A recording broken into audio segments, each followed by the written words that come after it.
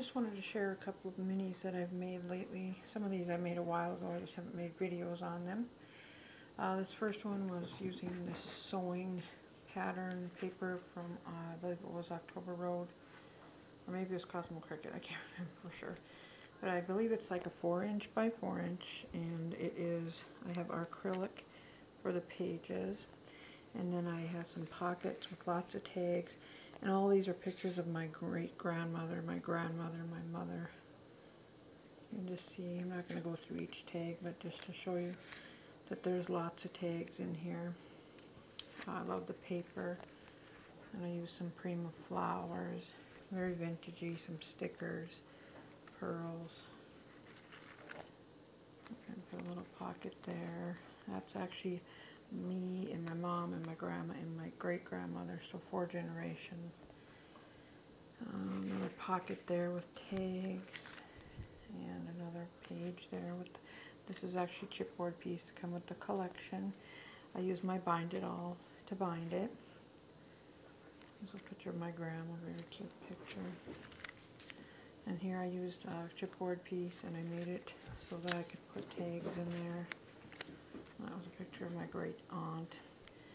Here I used uh, these big rickrack where I could put lots of tags in here. And these were all die cut pieces that came with the collection.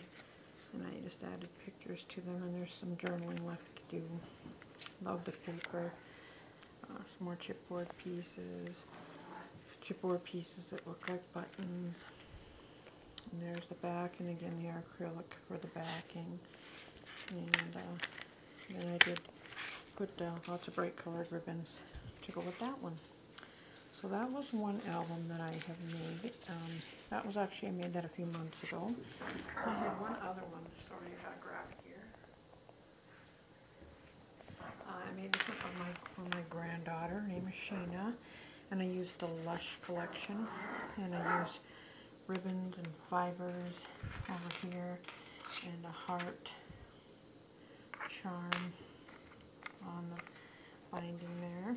And this is like a very pretty, very soft blur. And the front page here, I made it fairly simple. I used black and white photos, cream bling here, um, and a stamp I had to put there. And then you'll see how I used the big pictures of her for the whole page. Really like how that looked. And that one, and then I put some bling along the edge there. And this is an 8 by 8 book. So I made those pictures big. And I put girls just want to have fun as a rub on.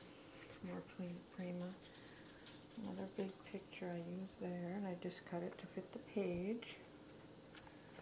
And funny girl, more bling. And another picture of Sheena. I love the black and white with the pink. Um, again, another simple page, rub and this was a border sticker. And then in the back, I just wrote her something um, that eventually I'll give this book to her. She's just two and a half, so when she gets older, I'll give her that. And there's the back page. So that was a fairly simple one, but uh, I think it was kind of elegant, and I like that I used the black and white pictures. So I hope you enjoyed those two minis. Um, I've had surgery, so I'm home, so I'm going to make some more videos of some other things I've made lately and put those on as well. Thank you for watching.